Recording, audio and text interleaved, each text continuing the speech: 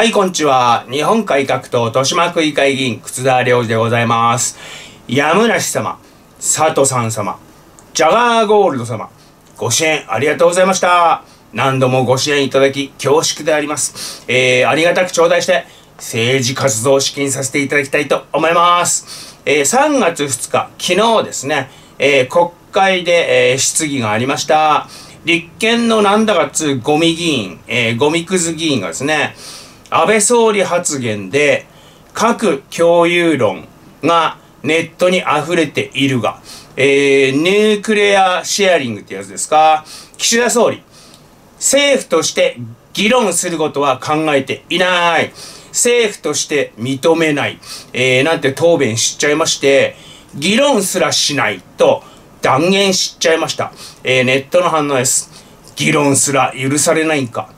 議論もさせない恐怖政治、怖い。民主主義の原則に反する。えー、これあの、民主主義どころか、直命にも反してますね。御事のり。えー、これあの、明治天皇が出された、晩期公論に決すべし。何でも話し合って決めましょうっていうですね、直命に背いてますね。議論をさせねえっちゅうのは。もう核がないと防衛できない段階に来ているが、別に憲法で決まってるわけでもないだろうに。えー、これ比較三原則のことを言ってるんでしょうか。岸田の無能っぷりときたら民主党かと思うわ。えー、それ以上のような気がすんな。鳩山幸夫に匹敵すんだよな。C 数を唯一の被爆国として核共有議論は許されないなんて書いてましたけど、投稿してますけれども、えー、全然なんでなのかわかんないんですけど、唯一の被爆国だったらなんで核武装する議論も許されないんだか、どうしても繋がんないですけど、議論すら許さないっていうのは、岸田も C も一致と一緒であります。えー、一応あの選挙で選ばれて投票されて選ばれてる民主主義者のはずなんですけどね、岸田総理はね。えー、共産主義者の C 和夫と考えが一致するってどういうことなんだろうな。まあ多分なもう考えてない、えー、でしょうね、岸田総理ね。えー、空っぽ総理だから。えー、インベテン、インデペンデント報道、えー、ラブロフ、ロシア外相、第三次世界大戦は核兵器で破壊的なものになる。えー、全世界を脅迫しておりました。えー、総理はこういうニュース見てないのかな？えー、ロシアって日本の隣ですよ。隣国ですよ。隣国がこういう物騒なこと言ってるのに議論すらしませんって言ってる場合がっつうの。えー、ネットの反応です。ああ、言っちゃった。えこれあの、ロシアの外務大臣が、核で脅迫したことについて、ああ、言っちゃった。だいぶ追い詰められているようだな。滅びるのはロシアだけだ。バカロシア、破滅を選ぶ。北朝鮮のバカということ同じになってきた。そのうち無慈悲なとか言い出すんじゃねえの。ロシア兵は誰に銃口を向けるか向けるべきかよく考えようと。えー、ミンスク合意とですね、ブダペスト覚書各所を破ってですね、一方的に侵略始めて、なんか知んないけど勝手に追い詰められて、世界を脅迫って呆れますね、本当にね。えー、ロシアの核だけで世界を滅ぼすのは無理ですよ。えー、人類全部やっつけるっていうのを無理ですよ。えー、1万発持ってないんだから、ロシアは、核弾頭。えー、あとね、あの、30年以上、核実験してないんですよ。確かめてないの。えー、で、あの、持ってるやつも、30年前のやつで、あの、正常に作動すっかどうかもわかんない、オンボロ。古い弾頭ばっか。えー、のくせに、よくまあ、あの、大それたことを、えー、言うなえー、岸田はですね、ロシア外相が脅迫しているんで、議論しないとって言うべきだったんですよね。それこそあの臨機応変ってもんですよ。比較三原則なんて憲法にも法律にもなってないふわっとしたもんただなんかなんとなく言ってるだけのもんなんだからそんな理念のために帝国民が不利益被るのはバカらしいって思わないのかなえー、現実を見ない知りたくもない公家ドリーマーの岸田総理と違ってですね、まあ、リアリストの高市早苗政調会長国民の安全が危機的状況になった時は核兵器持ち込みを例外を認めるべき、えー、これ三原則の持ち込ませずっていう、え、のに例外作るべきと、えー、核を搭載した米国の艦船を日本に寄港も給油もさせないのか。領海通行もダメでは。日本は守れない、えー、全く現実的。全くの正論であります、えー、通貨のこういう現実を見ないようにごまかしてきたことに無理があんですよ、えー、アメリカの軍艦日本の領海に入ってきてますけど核積んでますよ。なんぼあの持ち込ませずって言ったところでさネットの判断です。そりゃあそうだ。これは当たり前の主張。自衛のために今は必要。本当にやべえ時は比較三原則なんか気にしている場合じゃない。えー、核も使う作戦の共有が落としどころじゃないのかな。平時から配備しとこう。有事じゃなくて常時にしよう。えー、必要なら米軍が勝手に持ち込むから、こんな原則なんかもともと意味がない。えー、もう持ち込んでますよね。あの、好き放題に。えー、米軍はですね、あの、核兵器の所在を秘密にしております。えー、まあ、あの、当然ですけどね。えー、公表してたらそこを攻撃されちゃうからね。持ち込ませずなんて原則はもともと無意味なんですよ。えー、日本領海に潜んでる潜水してる源泉にもしこたま積んでますし、あとあの船にもしこたま積んでますし、えー、今の弾頭は、今の核弾頭は小型化されててね、えー、巡航ミサイル、トマホークなんかにも搭載できるんで、えー、F35 戦闘機、米軍のね、えー、F35 戦闘機が積んでるミサイルが通常弾頭なのか、核弾頭なのか見分けつかんしょ。うん、なんでね、あの、比較三原則持ち込ませずなんて、日本人が勝手に言ってるだけで全然意味がない。えー、昭和の自民党の言葉遊びじゃないのか。えー、5点から一歩も出ずにですね、現実を見ないようにして夢に遊ぶ公家総理はですね、えー、リアリストの武士に負けるし、えー、そうでないと帝国民としては困るしんなね夢ばっかあの語って寝ぼけてる鳩山幸夫なんていう時はひどい目ありましたよね。えー、ドリーマー、ポエマー、あ、ろくなもんでね、えー、正論突きつける高市さんと比べると、総理は全くの愚鈍、ロドン、白痴、バカ、怠け者、問題先送り、常習犯。何を聞いても、検討中とか、判断したいとか、こんなんばっか。えー、みこしは軽くてパーがいい。えー、これ小沢一郎が言った言葉ですけど、それじゃ困んだよな。えー、公明と山口夏夫。いろんな意見が出てきているが、比較三原則を揺るがせにしてはならない。とか言っちゃって、やがましいバーってね、えー、夢でも見てろって感じになりますね。総理のグドンロドン白地帝能バカは確信しましたが、えー、林外務大臣も似たようなバカであったと判明いたしました。えー、昨日の国会でですね、えー、コルンス、コルスンスキー、コルスンスキー駐日ウクライナ大使が林外務大臣に面会を求めていたのに1ヶ月以上も放置して面会は実現していなかったと判明しちゃってですね、えー、国会で豚がですね、知らんかった。なんでだろう。調べてみますって言っちゃったんですね。えー、無能、無意、無策の生き恥、さらしちゃいました。ネットの話情けなさすぎる。失態すぎるだろ。本当にバカなの？自分から会いに行かないといけない状況だろ。外務大臣に危機管理能力がないって、やばーい。外務省の進路派が止めてたのかな？岸田内閣は都合の悪いことは全部官僚のせいと。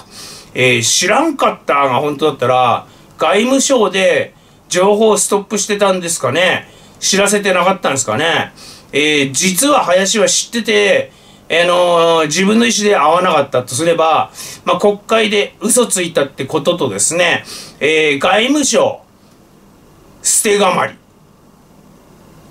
外務省を犠牲にして自分を守るみたいな、そういうあの、卑怯卑劣なことをやらかした。嘘ついてまで。っていうことになりますけどね。えー、外務大臣だったらですね、こちらから、ウクライナ大使に面会に行ってですね、現地情報を取りに行かないとダメだろ。えー、バカで怠け者なのかなまあ、その通りなんですけどね。えー、国連総会緊急特別会合開催。えー、そこでですね、あの、各国が演説、私はこう思います。えー、ロシアとウクライナの戦争。私はこう思います。えー、演説をぶちかましまして、えー、ロシアを支持したのは、シリア、北朝鮮、キューバ、ベネズエラ。えー、ベネズエラ、あ今ね、独裁国家になってます。なんかあの、共産主義の。知らんかったけど。えー、国内では、令和新選組が、ロシアかばって、非難決議、唯一反対しましたね。ネットの反応です。中国と韓国も、追加で、シリアは面倒だな。中国はだんまりしたそうだと。えー、国会非難決議に唯一反対した令和なんですけど、あれこれあれこれ謎の理屈をあめき散らしてますけれども、ロシアの仲間なのは明白ですね。まあ、ロシアっていうよりかは、ロシアの古文の北朝鮮のそのまた古文、えー、令和の母体はですね、中核派。えー、中核派は北朝鮮の下部組織みたいなもんだしね。えー、令和衆院議員の大石明子。この人も中核派だそうであります。この戦争を止められるのは、ロシア非難の大義を利用して、ロシア分割の利益を狙う者たちではありません。世界中で戦争反対の民主が立ち上がっています。私は今もこれからも常にそちらに立ち続けますと。えー、投稿っていうか、まあ意見表明っていうかね、まあこんなことしましてね、また謎理論を展開してるけど、多くの皆さんは理解できなかったみたいで、えー、支持者はなるほどって思うのかな？ネットの反応です。などと意味不明な供述をしており、言ってる意味が全然わからん。頭がおかしいのかな？変な薬でも決めてんのか？トンチ新選組の謎競技。よくわかんないけど、ロシアが好きなんだね。えー、非武装の民衆が止められるわけないだろう。ロシア分割とか、どっから受信したの？えー、今ね、あのー、むしろ分割されてるのはウクライナですよ。なんか南部を占領したとか、えー、報道ありましたしね。えー、いつもの論理のすり替え、大失敗であります。一体何を言いたいのかわかんないですけど、大石議員がですね、ロシアを擁護したいのだけは分かった。えー、北方領土盗んでる敵国なんだからロシアは、それの分割と弱体化は帝国にとって喜ばしいことじゃん。ね。いいことじゃん。ね。ロシアの西隣はウクライナですけど、東隣、東隣は我が帝国なん。だから、どこより一生懸命ね、あの、ロシアの弱体化目指さないといけない立場ですよ。どこよりあの一生懸命ね、あの、猛烈に猛烈に非難と制裁してね、えー、ロシア非難の大義を利用してとか言っちゃってますけど、自分でね、あの、ロシアを非難することに大義があるって認めてんじゃんね。じゃあいいことやんけ。えー、本当に何言ってんだろうな、この人ね。もう多分、関わるとダメな人。こういう人。何言って変わんねえな。宇宙語かなみたいな。えー、時事通信報道。トヨタのサンクトペテルブルグ工場創業停止だとございます。ネットの話です。絶賛戦争中の国だし、当然、えー、通貨の価値ないからいても意味なし。え、これで失職したロシア人は国を恨むでしょう。名目上は停止だけど、撤退前提でしょうな。設備ごと接収されそう。全部壊して戻ってこい。どうせなら中国工場も考え直した方がいいのでは。三菱も日産もロシアに工場あるで、欧州向けの製品作ってた工場らしいであります。えー、欧州全域、ロシア含めて100万台、えー、トヨタは売ってるらしいんですけど、そのうち10万台を生産していた工場らしい。えー、海運封鎖で車で来ても遅れない。えー、決済封鎖でお金のやり取りできない。そりゃそうなりますよ。工場、あの、嫌でも止めざるを得ないですね。ま、いくら大損してもですね、損切りしないといけない状況ですよ。えー、世界中はですね、あの、ロシアをやる気満々ですしね。日本の大手銀行は、なんか未練たらしく、逃げ道を探してるみたいな報道ありましたけど、えー、バカですかって、あの、早く逃げないと巻き込まれて、自分もあの、消滅させられるかな。えー、ロシアを国際間送金決済システム SWIFT から排除すると発表になったのが2月27日であります。えー、それから丸3日が経過し、4日目であります今日。えー、効果のほどは、えー、プーチン、制裁のダメージは限定的とか言ってるらしいんですけど、ブルームバーグ報道、モスクワ証券取引所は丸3日間開かれていない。ロシア政府の海外資産はほぼ凍結された。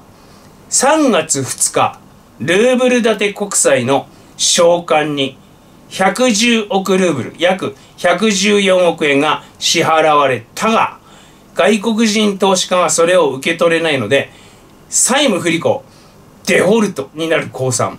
まあ、あの、手元に配当が届くまで遠足ですと。えー、向こうは支払った支払ったっつったって、手元に届かねえんだから、債務不履行だよ、ね。えー、いうことらしいであります。ロンドン市場において、最大、最大手銀行のズベルバンクが99%、国営ガスプロムが98%、セベルスタリ鉄鋼100%、ルクオイル石油は99%、株価が下落した。99%になった。じゃなくて99%下落した。ということは100分の1になっちゃったのはロシアンダウ平均。まあ日経平均みたいなのニューヨークダウとか聞きますよね。ロシアンダウは2週間で98%下落した。98%になった。じゃなくて2%になっちゃった。50分の1になっちゃった。